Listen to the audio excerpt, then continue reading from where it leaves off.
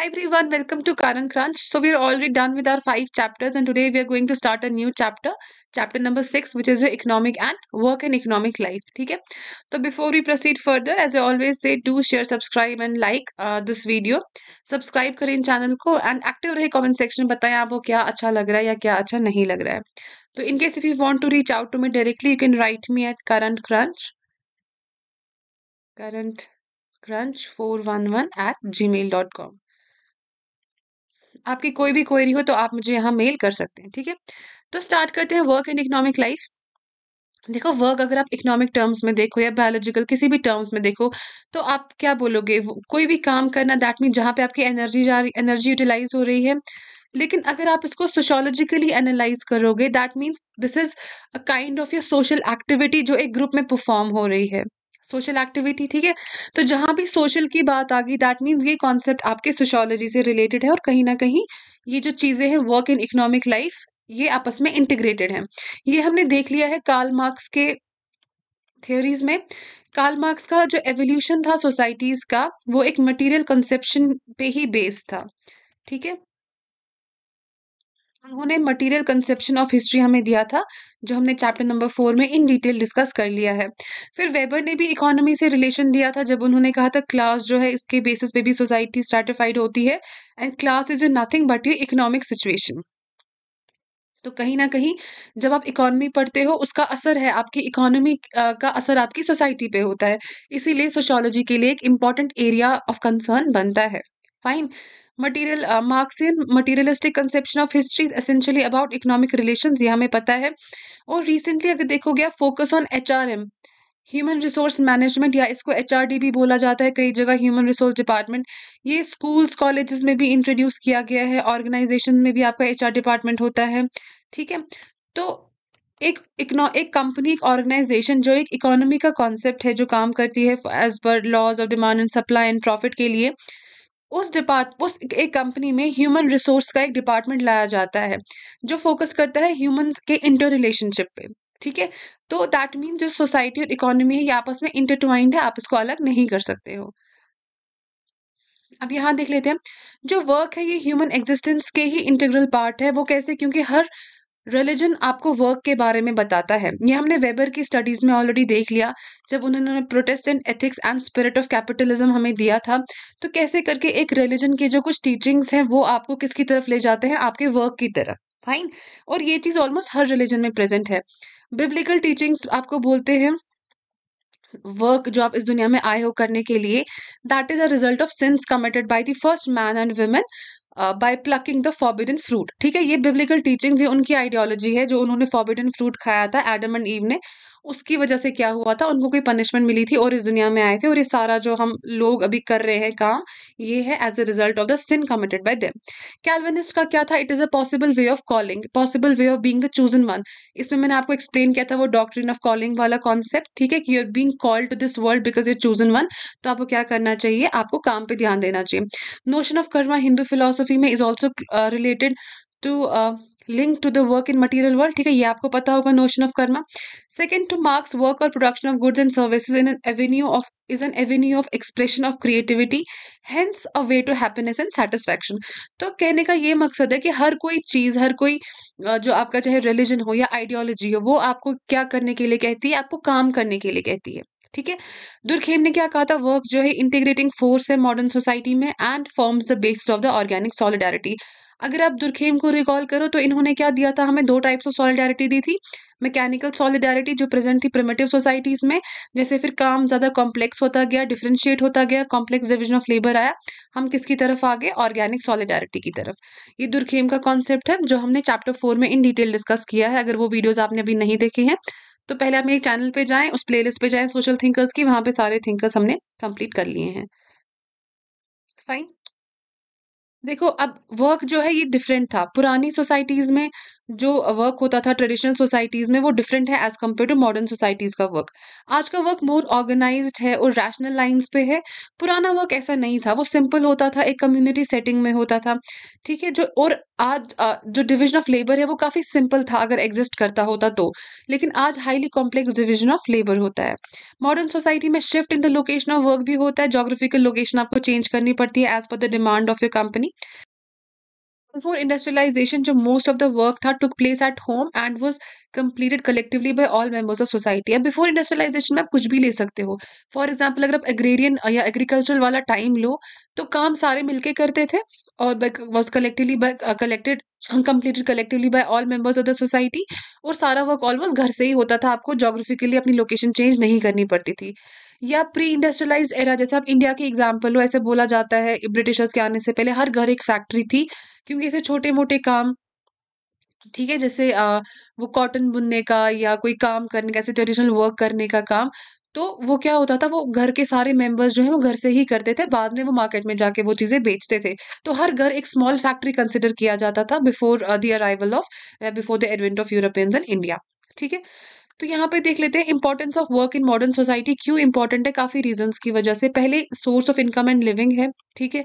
Clear ये चीज़।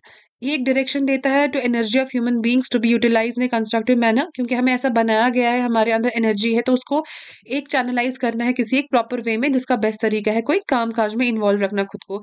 It breaks the monotony of domestic life काम नहीं करोगे तो दिन भर बैठ के क्या करोगे? एक बोरिंग सी लाइफ बन जाएगी आपकी उसको ब्रेक करने के लिए।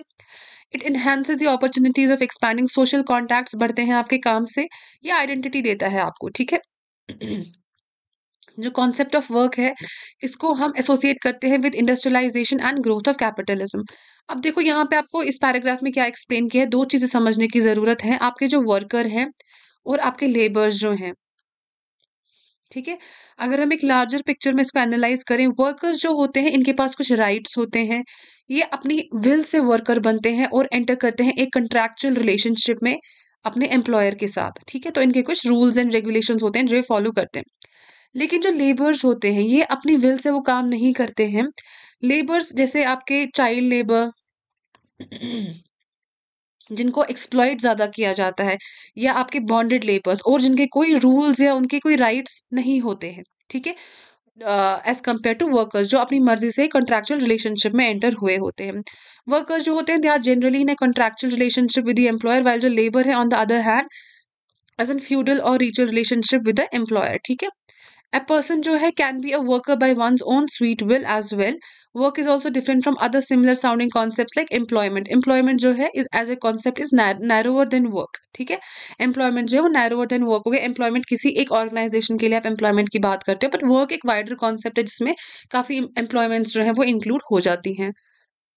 ये समझ गए आपका जो लेबर अलग है और वर्कर अलग है। अब एक कंट्री टू कंट्री बेसिस अलग होगा डेफिनेशन वगैरह। मैं आपको एक लार्जर पिक्चर दे रही हूँ।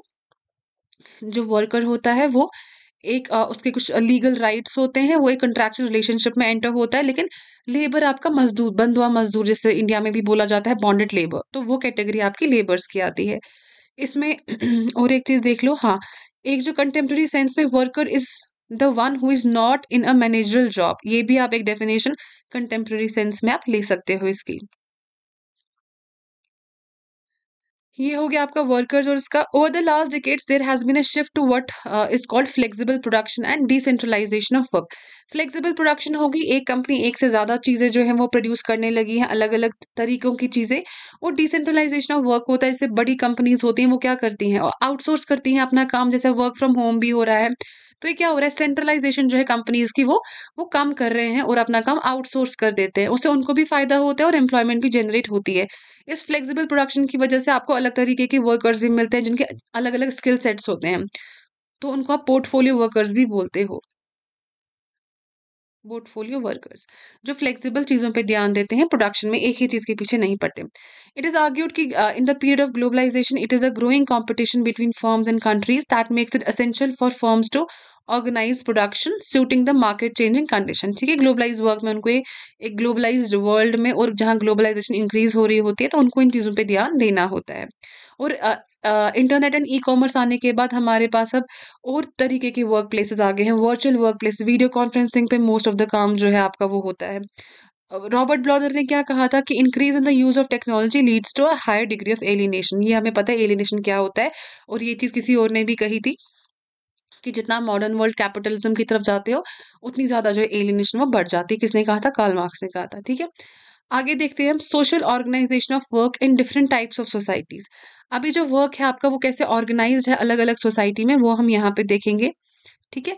बाकी आप एक बार ये रीड कर लेना जहाँ जहाँ जो जो पॉइंट्स मैंने रीड नहीं किए हैं, वो सिंपल टू अंडरस्टैंड है, ऐसा कुछ उनमें है नहीं।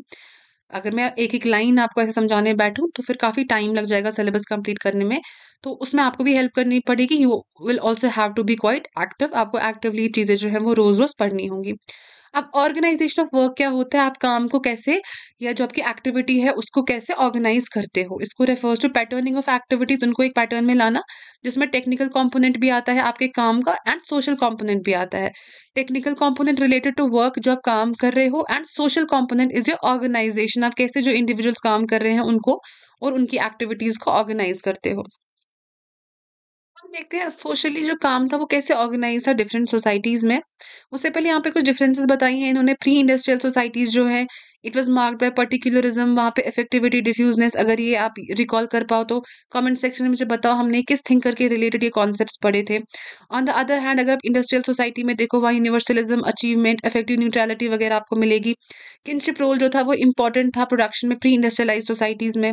उनको फैमिली को उस टाइम पे यूनिट ऑफ़ प्रोडक्शन बोला जाता था क्योंकि पूरी फैमिली जो थी वो इन्वॉल्व होती थी काम में। जैसे एग्रीकल्चर में देखो तो हर कोई खेती बाड़ी कर रहा है, हर फैमिली मेंबर जो है वो इन्वॉल्व है एग्रीकल्चर फील्ड्स में। लेकिन आपके मॉडर्न सेटअप में फैमिली जो है, वो यूनिट ऑफ़ कंजम्पशन बन गई। अब आप क्या कर रहे हो? कोई एक मेल मेंबर है जो जाके काम कर रहा है और बाकी सारे वो जो पैसे ला रहा है घर में, उसको कंज्यूम कर रहे हैं। ठीक है? और एलिनेशन जो था it was low in work pre industrial societies बाद में आहिस्ता आहिस्ता बढ़ता गया। मॉडर्न सोसाइटीज़ में आपको डिफरेंट मॉडर्न इंडस्ट्रियलाइज सोसाइटीज़ जो है, इसमें आपको डिफरेंट स्ट्रक्चर्स मिलेंगे। फ़र्स्ट ऑफ़ ऑल जो पॉलिटिकल सिस्टम था, वो डिफरेंट था, एक वेल डिफाइंड पॉलिटिकल सिस्टम था, और वो अकॉर्डिंगली बूस्ट करता था आपके इकोनॉमिक सिस्टम को, वो एक स्टेबिलिटी प्रोवाइड करता था इकोनॉमिक सिस्टम को। जब कोई रूल्स लॉज रेगुलेशंस बने होंगे, वही क्या करेंगे, आपकी इकोनॉमी को वैसे ही रूल्स बनाएँगे, जो आपकी इकोनॉमी के लिए ओवरऑल बेनिफिशियल होगा, ठीक है? इसके लिए आपको एक पॉलिटिकल फ्रेमवर्क एक पॉलिटिकल सिस्टम आपकी सोसाइटी का स्टेबलाइज्ड होना काफ़ी इंपॉर्टेंट है। एजुकेशनल फ्रेमवर्क जो है also undergoes changes and religious education is replace by scientific education modern societies में। ट्रेडिशनल सोसाइटीज़ में अगर एजुकेशन होती भी थी that was majorly religious based education जहाँ पे ज़्यादा से ज़्यादा प्रीस्ट के लिए आपको रेडी किया जाता कि आप कैसे एक पोप और प्रीस्ट बन पाओगे। But that was later replace by the scientific education ठीक है? इससे आप ज़्यादा साइंटिफिक और टेक्निकल uh, इंसान बन जाते हो। Family ceases to be unit of economic production जैसे मैंने कहा and it is reduce to a unit of consumption and instead जो इंडिविजुअल्स हैं in the family become a unit of production जो इंडिविजुअल जाके काम करता है, ठीक है? स्किल्स जो है are not acquired as a part of hereditary hereditary learning but formal institution imbibe such skills ठीक है? अब स्किल्स आपको ये नहीं, आपके जो एंसेस्टर्स हैं, आपके पेरेंट्स हैं ज्ञान पेरेंट्स हैं, वो आपको सिखाएँगे ट्रेडिशनल चीज़ें नहीं। अब बाजाबता इंस्टीट्यूशन होते हैं, ठीक है? टेक्निकल इंस्टीट्यूशन होते हैं जो आपको वोकेशनल ट्रेनिंग प्रोवाइड करते हैं। आप जहाँ से कुछ स्किल्स सीखते हो। जैसे आपके कंप्यूटर कोर्सेज हैं या आपके बाकी इंजीनियरिंग कोर्सेज हैं, वो आपके अंदर स्किल्स इम्पार्ट करते हैं मेडिकल कोर्सेज हैं। वो स्किल्स इम्पार्ट करते हैं, फिर आप रियल वर्ल्ड में जाके उन स्किल्स को अप्लाई करते हो। ठीक है? अब ये कुछ पॉइंट्स हैं, इन पे क्या, ये पहले आप देख लो ये चीज़ें क्या हैं, फिर इन चीज़ों के बेसिस पे एंशंट सोसाइटी कैसी थी एंड आपकी मॉडर्न सोसाइटी कैसी थी, वो सारी चीज़ें, फिर फ्यूडल सोसाइटी कैसी थी, वो चीज़ें हमें आगे देखनी है। एक्टिविटीज़ और प्रोडक्शन ये आपको बताएगा कि सोसाइटी में किस तरीके की प्रोडक्शन थी, पहले हंटिंग गैदरिंग थी, फिर एग्रीकल्चर आ गया और इंडस्ट्रियल में मास प्रोडक्शन का कॉन्सेप्ट आ गया। नेचर ऑफ़ वर्क सिंपल था कि कॉम्प्लेक्स था फॉर्मल था कि इनफॉर्मल था? सोर्स ऑफ़ पावर, लैंड से आपके पास पावर आता था या कैपिटल से पावर आता था? सिस्टम ऑफ़ स्ट्रैटिफिकेशन कैसे डिवाइडेड थी सोसाइटी? जैसे मास्टर स्लेव था एंशंट में, फिर फ्यूडल सोसाइटी में लॉर्ड सर्फ वाला कॉन्सेप्ट था, या इंडियन कास्ट सिस्टम है आपका चतुर्वर्णा सिस्टम। सोशल मोबिलिटी, जैसे पहले जो मोबिलिटी थी वो ज़्यादा ये नहीं थी। एवेन्यूज़ नहीं थे ज़्यादा सोशल मोबिलिटी के, ज़्यादा जैसे जैसे हम मॉडर्न सोसाइटीज़ में आ गए जो हमारी मोबिलिटी का कॉन्सेप्ट है, ये भी बढ़ता गया। डिग्री ऑफ़ एलिनेशन, पहले एलिनेशन कम थी और जैसे आप कैपिटलिज्म की तरफ़ आ गए आप ये पीक पे पहुँच गए एलिनेशन की, ठीक है? वो सारा कॉन्सेप्ट हमने काल मार्क्स में एक्सप्लेन किया है। तो इन चीज़ों पे अब हम देखेंगे और भी कई चीज़ें कैरेक्टरिस्टिक्स देखेंगे हम हर सोसाइटी के, इन चीज़ों को लेके कैसे थे। अब पहले हम देखते हैं slave society primitive slave society वो कैसी थी? Major economic activity hunting and gathering थी। मोड ऑफ़ प्रोडक्शन जो था वो एंशियंट था।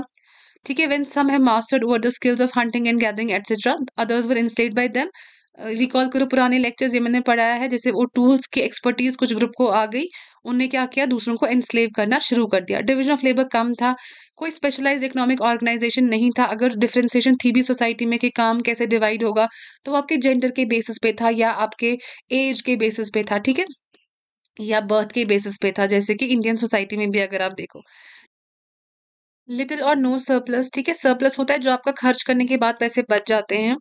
पोस्ट स्पेशलाइजेशन की वजह से प्रोडक्टिविटी कम थी तो हैंड टू माउथ ही लोग रहते थे। जितना कमाते थे, उतना खर्चाते थे। एंड कैश इकोनॉमी का तो कॉन्सेप्ट था ही नहीं। तो सरप्लस वगैरह ऐसा कुछ कोई चीज़ नहीं होती थी। अगर होती भी तो काफ़ी कम। स्टार्टिफिकेशन लो थी क्योंकि डिफ्रेंसिएशन उतनी ज़्यादा नहीं थी। लोग सिमिलर एक्टिविटीज़ जो है वो परफॉर्म करते थे। मेजरली आप, जैसे एस्क्रिप्टिव सोसाइटीज में बर्थ बेस पे ही कुछ डिविजन सोसाइटी में क्रिएट करते थे। प्राइवेट ओनरशिप का ज़्यादा कॉन्सेप्ट नहीं था। ऑलमोस्ट वो जो कम्युनिटी बेस्ड ओनरशिप है, उसका टाइम था। रिलीजन डोमिनेट करता था इकोनॉमिक लाइफ को। इनोवेशन का लेवल भी लो था। Family role in the production family unit of production थी कंजम्पशन नहीं थी। Source of power animated source of power is use in the form of human labour and animal power जैसे अपने fields में आप वो कार्ट्स वगैरह यूज़ करते थे, क्योंकि ट्रैक्टर्स और मशीनरी तो आई नहीं थी तब तक, ठीक है? तो एनिमल्स को ही आप यूज़ करते थे वो काम करने के लिए। Low level of alienation alienation का लेवल लो था क्योंकि workers enjoy the fruit of their production ये सारा कॉन्सेप्ट जो है हमने पहले पढ़ लिया है।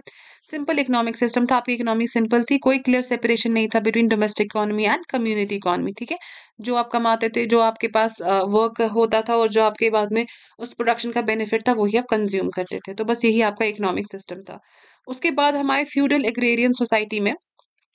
जिसमें इकोनॉमिक एक्टिविटी आपकी एग्रीकल्चर जो है वो मेजर इकोनॉमिक एक्टिविटी बन गई मोड ऑफ़ प्रोडक्शन फ्यूडलिस्टिक आ गया based upon the control over land division of labour जो है is enhanced over the slave society अब आइस आइस आपका डीओएल जो है वो इंक्रीज हो रहा है। सरप्लस था लेकिन उतना ज़्यादा नहीं था। मार्केट स्लोली इमर्ज होना स्टार्ट हो गया एक ट्रांजिशन फ़ेज़ में आप आ रहे हो। सोशल मोबिलिटी वो स्टिल वेरी लो एलिनेशन वो स्टिल वेरी लो रिलीजन जो है वो स्टिल डोमिनेंट था इन द वर्क प्लेस ठीक है? अब देखो ऑर्गेनाइजेशन कैपिटलिस्टिक जो आपकी मॉडर्न सोसाइटी थी, उसका क्या आ गया? मेजर इकोनॉमिक एक्टिविटी प्रोडक्शन जो है वो mass production of goods and factories complex division of labour centrality of capital private property का कॉन्सेप्ट आहिस्ता आहिस्ता आना शुरू हो गया। जो प्रोडक्शन थी वो एक्सचेंज एंड प्रॉफिट के लिए होती थी। जैसे मार्क्स ने कहा था, पहले चीज़ों का यूज़ वैल्यू था and now they have an exchange value तो ये कॉन्सेप्ट उनने किस नाम से एक्सप्लेन किया था, वो मुझे कमेंट सेक्शन में बताओ, ये हमने पढ़ लिया है काल मार्क्स में। Production is based on competition and not on cooperation ठीक है? अब कंपटीशन आ गया, लोग एक दूसरे कम्पीट करने लगे, आपके पास laws of demand and supply आ गया फाइन एलिनेशन बढ़ती चली गई multiplicity of economic institution factories banks markets वगैरह वो इमर्ज हो गए। हाई सरप्लस आ गया, अब सरप्लस काफ़ी ज़्यादा था, अब आपके पास कैपिटल जो है वो आना शुरू हो गया। मनी इकोनॉमी कैश इकोनॉमी आपकी जो है वो इस सोसाइटी uh, में आ गई। Use of inanimate power inanimate power replaces the use of labour जैसे पहले क्या कार्ड्स वगैरह यूज़ करते थे अब मशीनरी आ गई। हाई ऑक्यूपेशनल मोबिलिटी हो गई ठीक है अब आप मोबाइल दैट मीन्स अब आप माइग्रेट करने लगे काम के लिए work life separation domestic and commercial activities जो है वो सेपरेट हो गई इसमें based on is clearly separated क्योंकि जो कम्युनिटी बेस्ड प्रोडक्शन थी is destroyed by the factory system high levels of innovation and secular economic setting economic setting जो थी आपकी वो सेक्युलर हो गई फाइन तो in the context of modern societies also social organisation of work is not as simple as describe above in form of an ideal typical framework तो अगर इसको मैक्स वेबर के वर्ड्स में बोलो, ये एक आइडियल टाइप बनाया है, इन्होंने कि सोशल ऑर्गेनाइजेशन ऑफ़ वर्क कैसा होता था एंशंट सोसाइटीज़ का फ्यूडल सोसाइटीज़ का एंड आपकी मॉडर्न सोसाइटीज़ का, ठीक है? ये these are the different ways of organisation across developing and developed societies जो डेवलप्ड कंट्रीज़ हैं, वो इंडस्ट्रियलाइज हैं सर्विस डोमिनेटेड हैं और developing countries are still engage in agricultural activities जिसकी इंडिया भी एक एग्ज़ाम्पल है। इंडिया को जो अभी भी बोला जाता है still have to come out of the feudal mode of social organisation of work क्योंकि मेजोरिटी ऑफ़ लोग जो है, अभी भी वो एग्रीकल्चरल एक्टिविटीज़ में इन्वॉल्व हैं। ठीक है तो इस टाइप ऑफ़ एम्प्लॉयमेंट को क्या बोला जाता है? अगर आपको पता होगा, अपने इकोनॉमी में पढ़ा होगी, पढ़ी होगी ये चीज़ तो मुझे कमेंट सेक्शन में लिख के बताएँ। सोशल ऑर्गेनाइजेशन ऑफ़ वर्क जो है also depends upon the cultural values of society जैसे वेबर ने अपने Protestant ethics and spirit of capitalism में कहा था। क्योंकि एक रिलीजन से कैसे कैपिटलिज्म का जो ये है बूस्ट कैसे हुआ, वो सारी चीज़ें इन्होंने इसमें एक्सप्लेन की थी।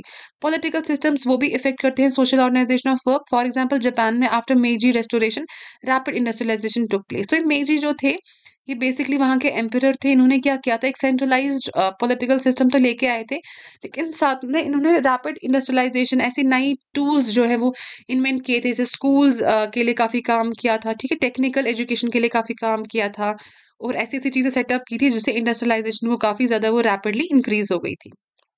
In case of India, different regions have different social organization of work. Tribals of Northeast have different organization than those living in Delhi. इसको explain करने की ज़रूरत नहीं है. You very well know this.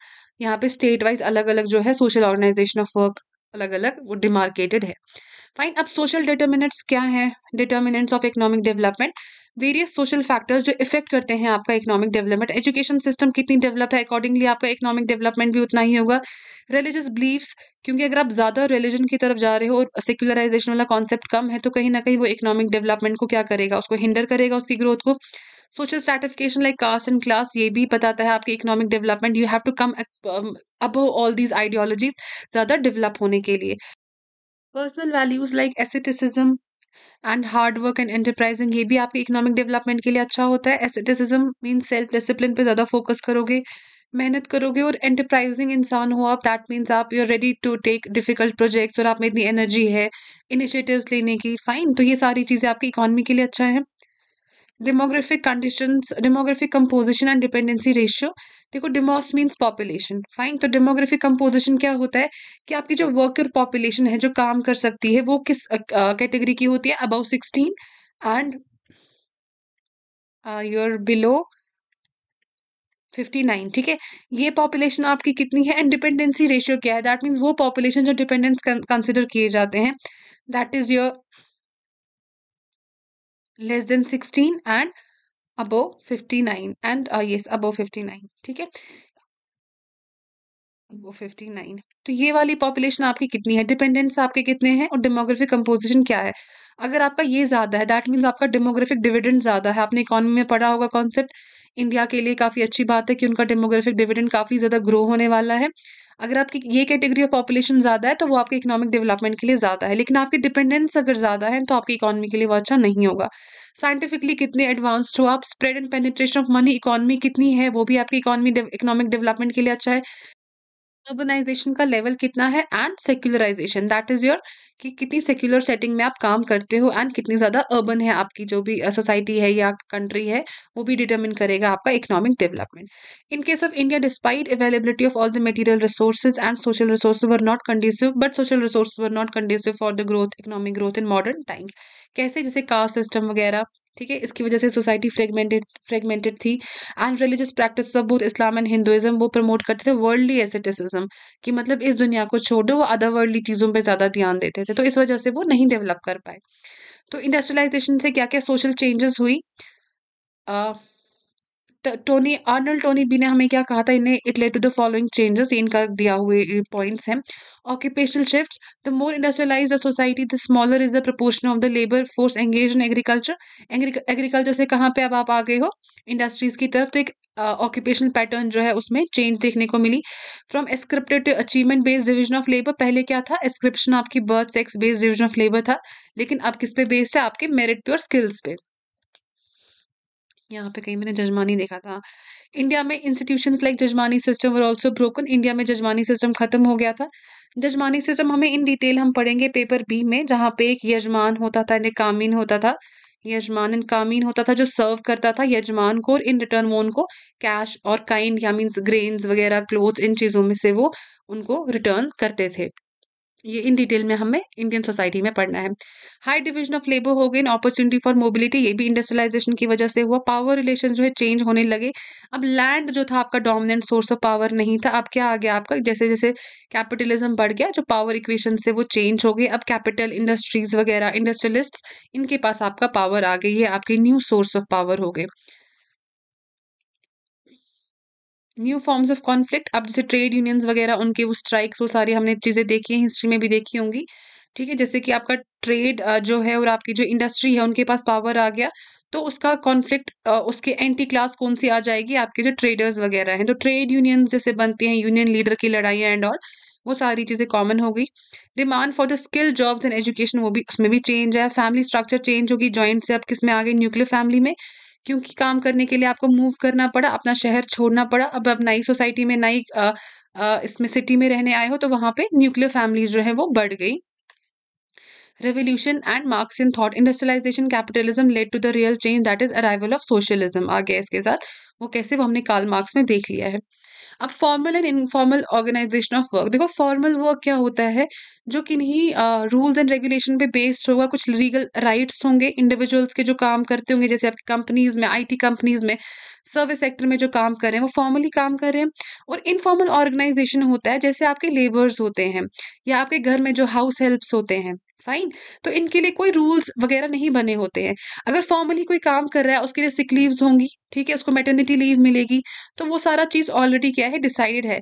लेकिन आप सोचो, आपके घर में जो दीदी काम करने आती है, वो आपकी मम्मा से पूछती है ना कि, दीदी, मैं कल छुट्टी ले लूँ? तो आपकी मामा और उनका जो रिलेशन है आपस में रेपो जो है, उसके बेसिस पे उसको छुट्टी मिलेगी।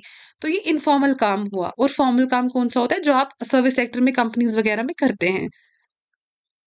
फॉर्मल ऑर्गेनाइजेशन ऑफ़ वर्क है is the one in which the worker is govern by the formal rules and regulation ठीक है, ये may be defined by contract between the employer and the employ formal organisation जो rationally decide होता है, इसके कुछ particular objectives होते हैं that are explicitly defined as well एक पर्टिकुलर गोल के लिए आप काम करते हो। One of the most prevalent formal organisation of the work is your bureaucracy सबसे बेस्ट एग्ज़ाम्पल है लेने के लिए। ठीक है, लेकिन इनफॉर्मल देखो यहाँ पे फिर कुछ लॉज एक्ट वगैरह भी आए हैं इनके लिए, जैसे फैक्ट्रीज एक्ट हो गया मिनिमम वेजेस एक्ट हो गया payment of gratuity act and shops and establishment act काफ़ी चीज़ों से इनको प्रोटेक्शन मिलती है। लेकिन हम अनऑर्गेनाइज सेक्टर या इनफॉर्मल वर्क में जो इनफॉर्मल वर्कर्स होते हैं, उनके लिए ऐसे रूल्स एंड ऐसे एक्ट्स हम नहीं देखते हैं। फिर informal organisation of work is the one in which workers are governed by, are not governed by fixed rules, but by the direction of the employer. ठीक है, जैसे मैंने कहा आपकी मामा से पूछेंगे कि हम छुट्टी लें कल की नहीं।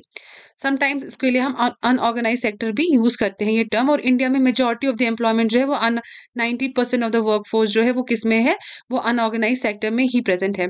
Today the term generally includes casual labour contract labour child labour domestic labour etcetera informal organisation जो है ये कॉन्ट्रैक्ट्स पे बेस्ड होती है। इनमें जो रूल्स हैं they are implicit rather than stated कोई सोशल कॉन्ट्रैक्ट टाइप के इस पे जैसे आपके घर में कोई काम करने के लिए आता है तो काइंड ऑफ़ एक कॉन्ट्रैक्ट ही होता है जब तक आपका वो सारा कंस्ट्रक्शन का काम है वो कंप्लीट ना हो जाए।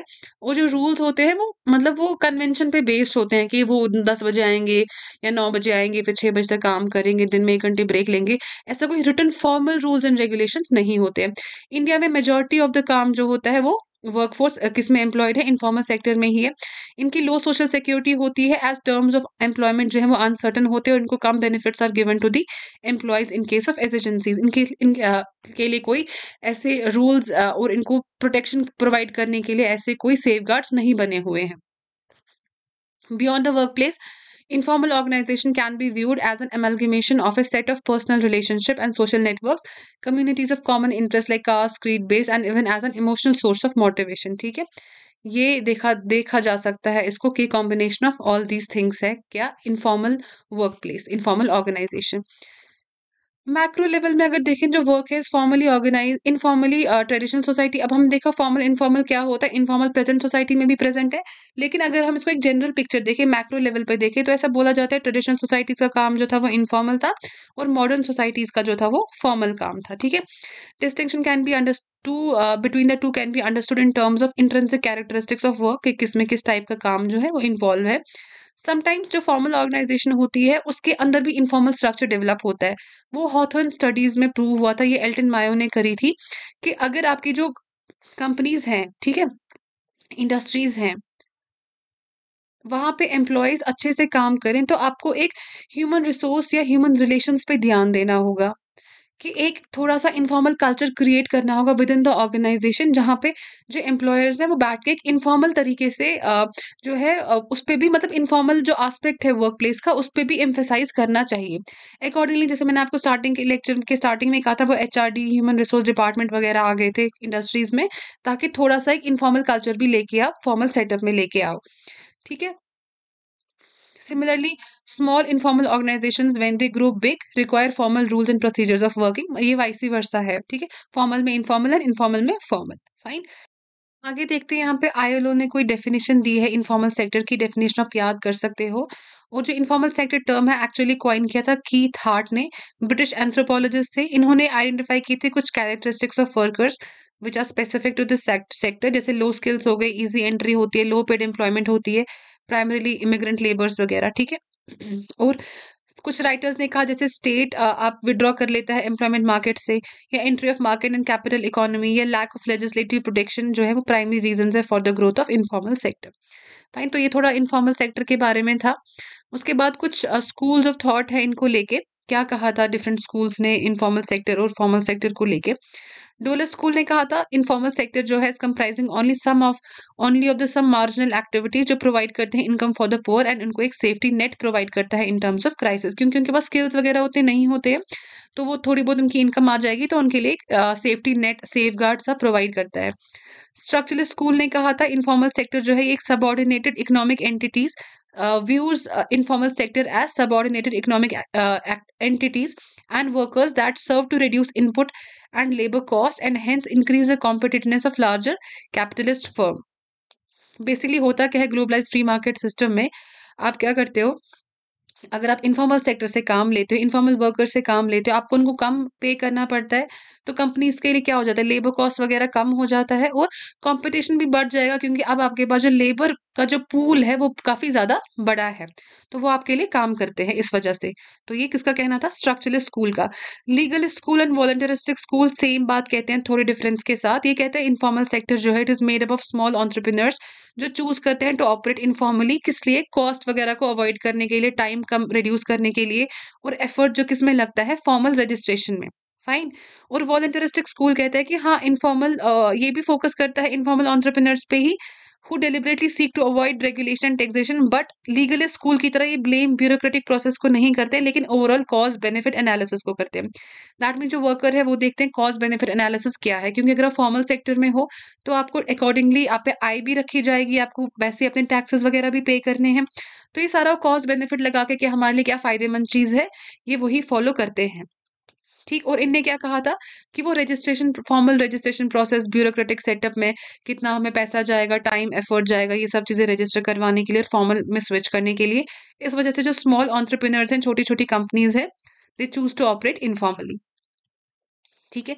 Formal and informal organisation of work जो है also depends upon the task which is to be accomplish task which are to be accomplish project और mission mode have a greater scope of informal working as a team has to improvise new strategies making new plan and have to work in a flexible manner कि अगर आप ऐसे काम करना चाहते हो innovatively नई स्ट्रेटजीज प्लान के साथ तो आप थोड़ा इनफॉर्मल सेटअप में काम करते हो। फाइन फॉर्मल सेटअप में भी आपने देखा होगा एडहॉक कमिटीज बनती हैं, जो टेम्प्ररी कमिटीज होती हैं, किसी एक पर्टिकुलर प्रोजेक्ट या पर्टिकुलर वर्क के लिए बनती हैं।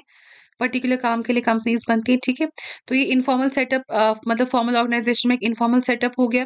इनफॉर्मल ऑर्गेनाइजेशन जो है, उनमें ज़्यादा फ्लेक्सिबिलिटी होती है और formal organisation working informal organisation की भी अपनी लिमिटेशन हैं, क्योंकि इनफॉर्मल डिसीज़न और पावर जर्ब करना या किसी का ये कर देना, किसी और की पोजिशन जो है वो खा लेना, ये सारी चीज़ें जो है, ये कॉमन होती है इनफॉर्मल सेटअप में, क्योंकि कोई ऐसे स्टेटेड रूल्स एंड रेगुलेशन तो होते नहीं है।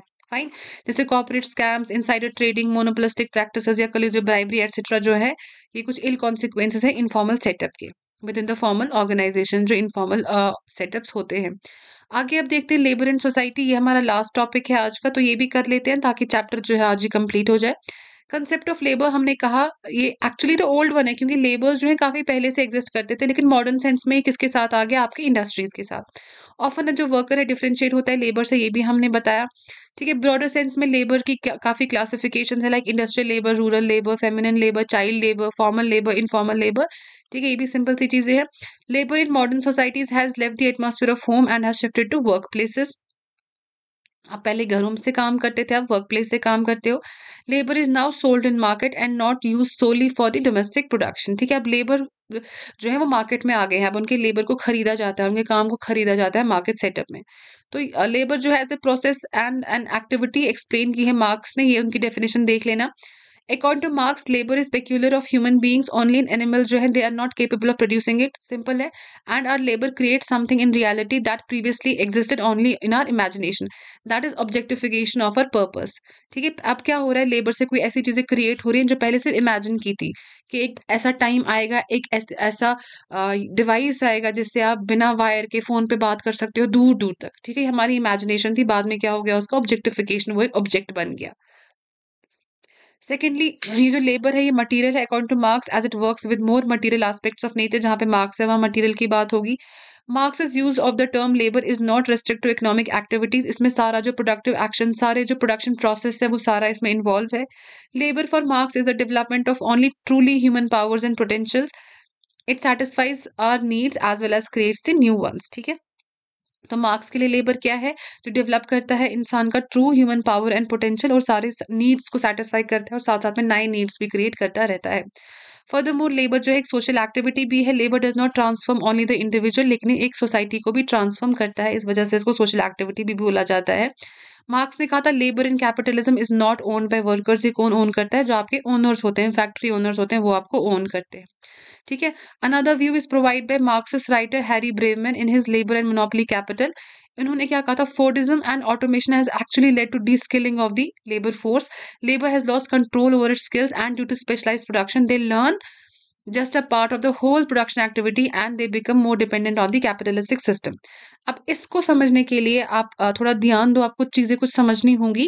देखो प्रोडक्शन प्रोसेस की कुछ स्टेजेस होती हैं। पहली स्टेज इंडस्ट्रियल प्रोडक्शन की, उसको टेलरिज्म बोला जाता है। दूसरी स्टेज को फोर्डिज्म बोला जाता है। ठीक है?